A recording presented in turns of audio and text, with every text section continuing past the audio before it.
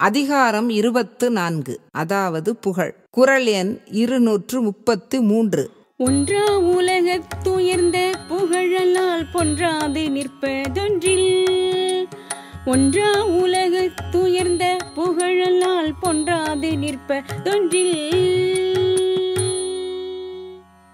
நிலையாது சுழலும் உலகே இதிலே நிலைத்து வாழ்வது தேடும் புகழே. புகன்ற மொழியில் தவறுமில்லை.